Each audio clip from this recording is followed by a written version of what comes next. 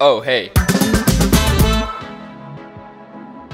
Gymnastic and dancing skills. I like to draw.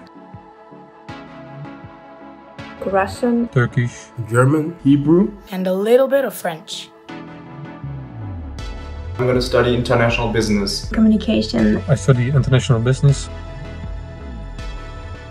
Spider-Man. My mom, she's a very strong woman. The sunny days. My cat, his name is Ulun and he's Sphynx. The beaches and the mountains. The food, the cuisines. Teacher, a singer, but then I discovered that I cannot sing. Learning about different cultures and different lifestyles. I'm really excited to meet everyone and I think it'll be a great year.